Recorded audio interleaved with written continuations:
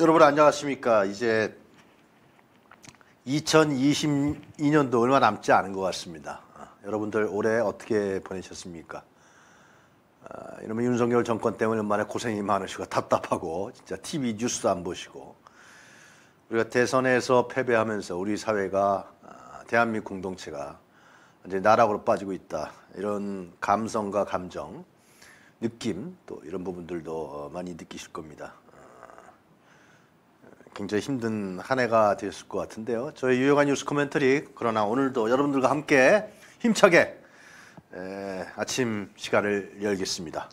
자 오늘 많은 분들이 역시 들어와 계십니다. 네, 우리 오늘 저 저널의 미디어 어, 종편 방송이죠. 거기에 들어오신 분들부터 제가 현이님, 네, 최연원 현이님, 네, 최연원 현이님, 네. 현 오디오가 왜 이러죠? 네. 현 오디오가 왜 이러죠? 됐습니까? 예. 현이님 한 다섯 번 정도 불러드렸습니다 지금.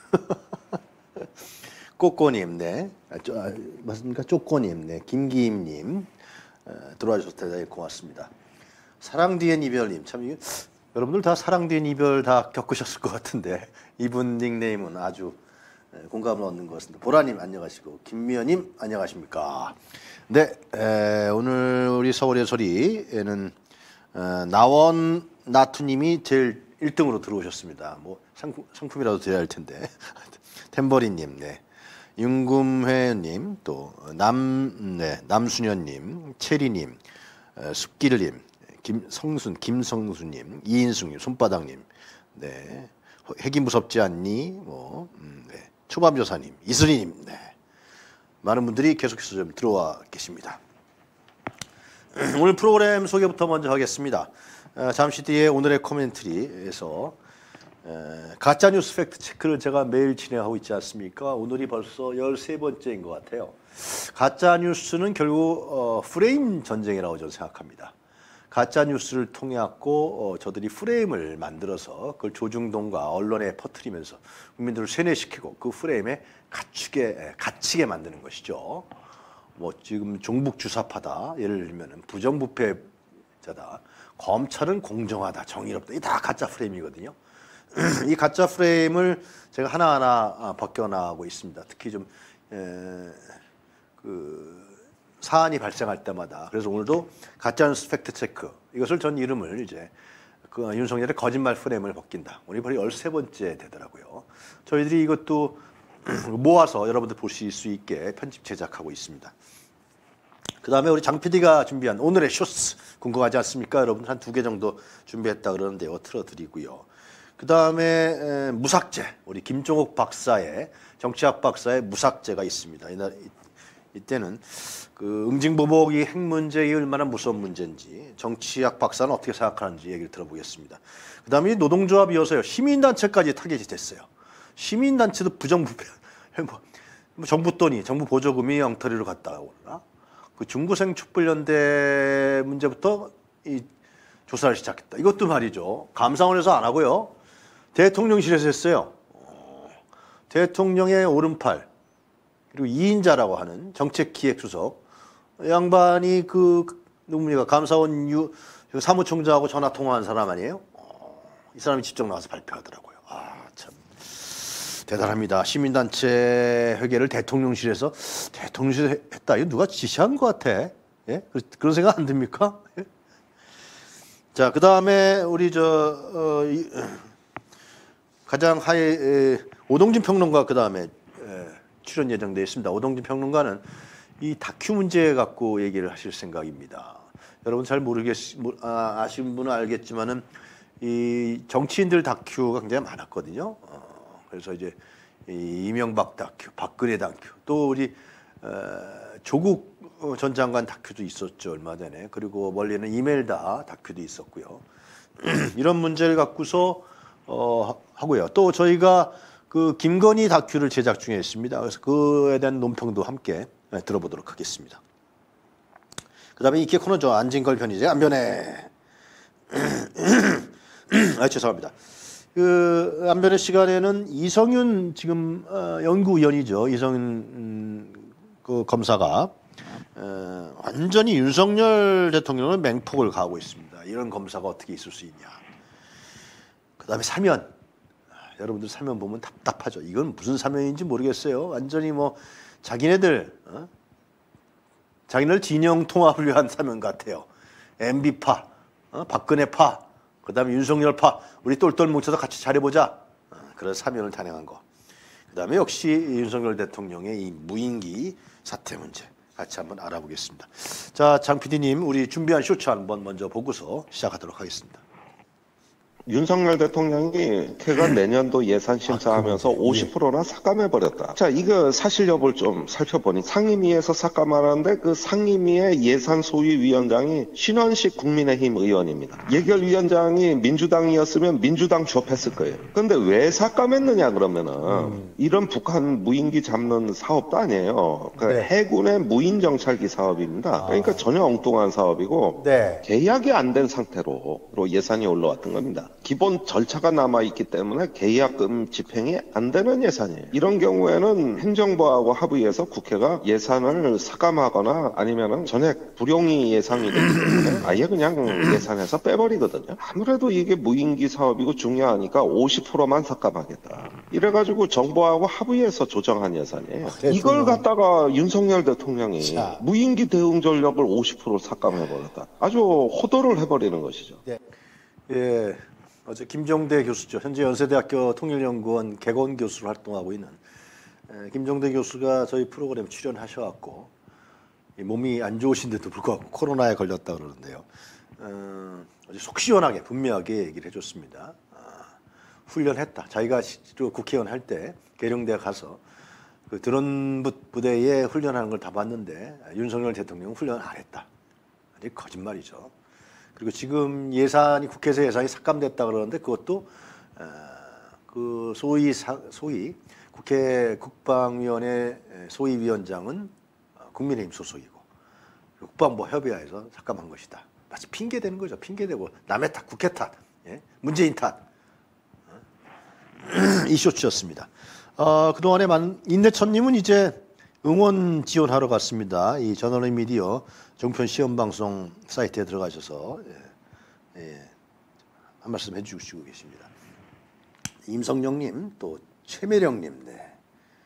어, 매일매일 알림을 설정하고 날마다 터지는 이 어이없는 현실을 조목조목 알고는 하는 수- 방송 애청합니다. 오늘도 파이팅 함께 합시다. 네. 네, 서울의 소리에도 이경태님 정신 못 차린 거니 어, 은영 김은영님, 채리님, 네, 남순현님, 이원호님, 또 조밤 여사님, 이매우님 계속해서 어, 들어와 계십니다.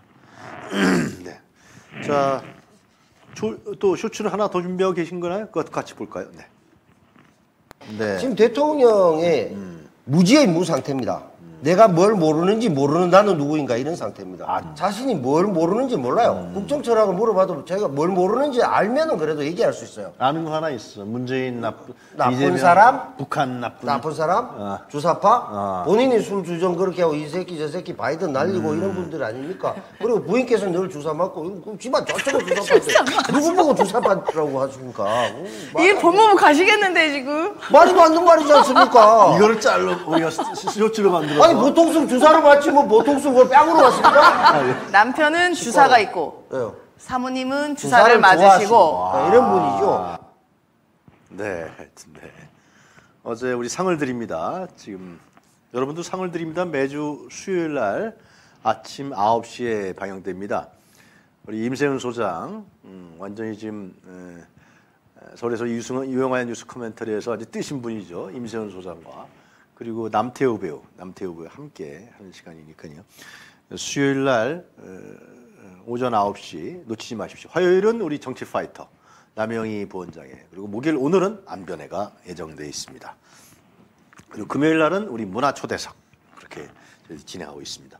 자, 어, 우리 김종욱 박사의 에, 무삭제 기다리고 있는데요. 음, 계속해서 많이 에, 저, 들어오고 계십니다. 박연웅님, 손바닥님, 네, 숲길님, 네. 아, 네. 윤구미님, 이매훈님, 정, 어, 이원호님,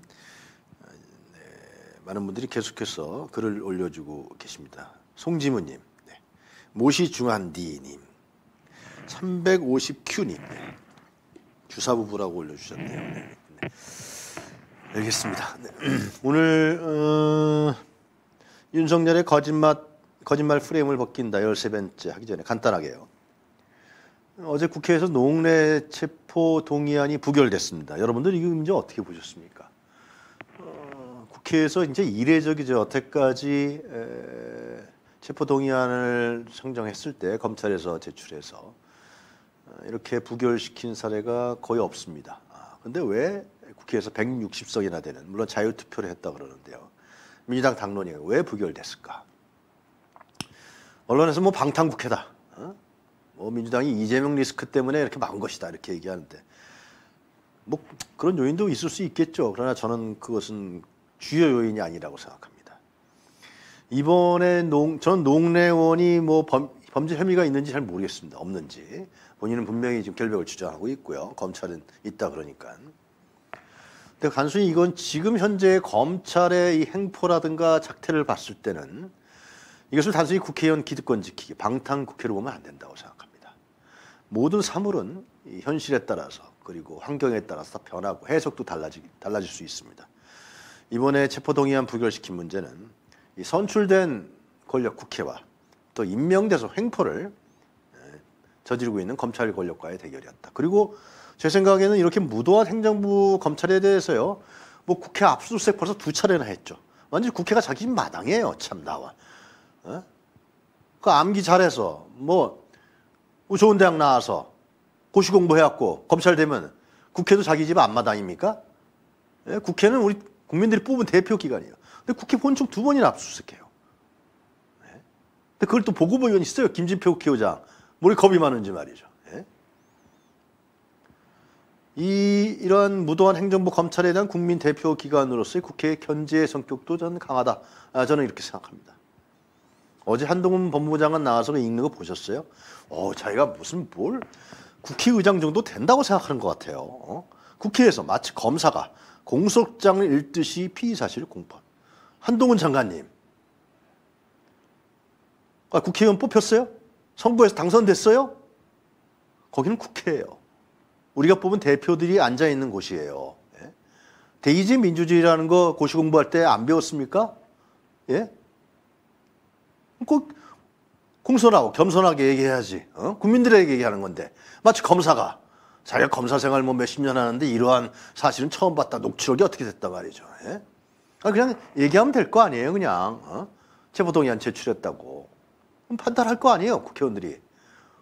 어, 거기 나와서 말이죠. 무슨 대통령이라. 아, 자기가 뭐 제2의 대통령이에요? 국회의장이에요? 이 국회를 무시하는 건 국민을 무시하는 겁니다. 그리고 국민을 무시하고 국회를 무시한 정권 치고 제가 현대 정치사에 있어서 오래간 정권 없습니다. 자, 다음 사항 얘기하겠습니다. 자, 여러분, 우리 6.25 전쟁 여러분 기억하실 겁니다. 아, 경험하지 못한 분 많으시죠. 그러나 나이 드신 분들 6.25 전쟁 많이 겪으셨죠. 1950년 6.25 전쟁 때요, 400에서 500만 명의 사상자가 발생했습니다. 500만 명의 전재민이 발생했고요. 전쟁고와도 엄청나게 발생했죠. 네. 그리고 지금까지도 문제가 되고 있는 이산가족, 천만의 이산가족이 발생했습니다. 남한 경제의 42%가 파괴됐습니다. 북한은 뭐 말할 나위가 없었고요. 한민족이 파괴됐고 남북 분단이 고착화 됐고 체제가 체제 경쟁이 더욱더 시작됐습니다. 국민의 일상적 삶이 파괴되고 참상하는 참상 사건도 있었죠, 여러분. 거창 양민 학살 사건, 국민 방위군 사건, 보도 연맹 사건도 있었습니다. 저는 단언합니다. 만약에 우리가 6.25 전쟁만 없었다 그러면 우리도 독일처럼 통일될 수 있었습니다. 이 6.25 전쟁이 이 전쟁을 통해서 엄청난 우리의 역사는 깎이고 뒤로 하고 쇠퇴하고 우리 국민들은 죽어나갔습니다. 음? 그런데 윤석열 대통령은 어제 뭐라 그랬습니까? 책임질 수 없는 발언을 너무나 쉽게 하는 한국의 대통령입니다. 누가 죽습니까? 전쟁이 일어나면. 네? 누가 죽어요? 윤석열 대통령님. 전쟁이 일어나면 누가 죽습니까? 국민이 죽습니다. 무고한 양민이 다칩니다. 특히 현대전은요. 현대전은 과거와 달라서 이번에 우크라이나 전쟁에서 나타났듯이 무고한 양민들이 국민들이 죽어나갑니다. 거기서 윤석열 거짓말 프레임 우리 김종욱 박사의 무삭제 하기 전에 제가 한두 가지 얘기하겠습니다. 열세 번째인데요. 북한에 핵이 있다고 두려워하지 말래요. 확실하게 응징 보복하면 된답니다. 대통령님. 한반도에서 핵이 터지면 어떻게 됩니까? 우리 한반도 다 붕괴됩니다. 우리 국민들 다 엄청난 사람들이 죽어나갈 테고 핵에 의한 그 파괴와 영향은 엄청난다. 그래서 두려워하지 말라고요? 헐, 참, 나와. 아, 높으신 분들, 잘 사시는 분들은 하와이로 도망가겠죠? 예? 그 두려워하지 말라고요? 너무 두렵습니다. 저는 진짜 국민의 한 사람으로서 우리 한반도에 핵을 살, 핵을 안고 가는 문제가 너무나 두렵습니다. 예? 이거 잘못 건드려서 말이죠. 어? 남북 간에 서로 간에 국지전 하다가 핵이 터지면은 그럴 리 없겠습니다. 막아야겠지만. 너무나 두렵습니다. 정말 국민의 한 사람은. 근데 두려워하지 말래요. 대책도 없어요. 예? 국가 지도자, 대통령은 특히 우리나라 같이 6.25 전쟁을 겪은 나라에서는 절대로 전쟁이 일어나지 않도록 해야 되는 게 대통령의 책무 아니겠습니까? 그렇게 국민의 생명을 보호하고 안전을 보호하는 그래서 대통령 우리가 뽑아준 거 아닙니까? 저는 뽑지 않았습니다만. 예? 우리 이승만을 생각할 수 있습니다. 6.25 전쟁 전에 그렇게 이승만은 북진 통일을 주장했습니다. 북진 통일, 북진 통일. 예. 근데 전쟁이 일어나니까 어떻게 했어요? 튀었잖아요, 그냥. 어? 위험하니까. 그 뭐 대구로 해서 부산으로 도망갔잖아요. 그래놓고 한강다리 끊어버렸어요. 서울 시민들 넘어오지도 못하게. 응? 서울 시민들은 북한군 치하에 남겨놓고 혼자 도망갔습니다. 대통령이라고 자기가. 예? 그리고 부산 가서 또 뭐 했습니까? 전쟁 중에. 여러분 4.4.5의 개헌이라고 아실 겁니다. 예? 자기 장기 집권. 또 그 당시에 대통령 지선제 통과시켜서 선거를 했어요. 전쟁 중에. 그리고 대통령이 되고 다시 되고요. 이런 역사를 우리는 갖고 있습니다.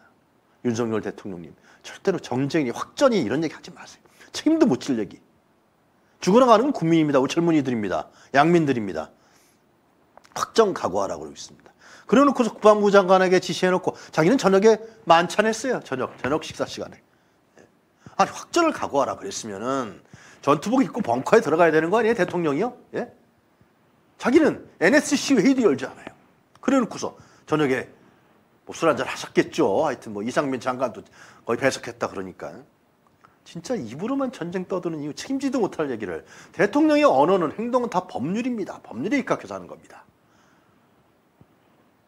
이건 뭐냐 대국민 전쟁 공포 압박으로 이 무인기 사태 벗어나려고 하는 거냐 이 북한 잘 걸렸다 우리 김종욱 박사님하고 더 깊숙하게 들어가 보겠습니다만 북한 잘 걸렸다 이 넌 적이야 어?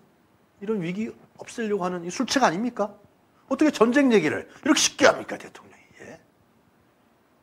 또 세 번째 9.19 군사합의로 인해서 상호 비행 금지하는 구역이 설정됐고 이 때문에 대응이 늦어졌다 아 천만에 아니 무인기 이번에 드러났습니다.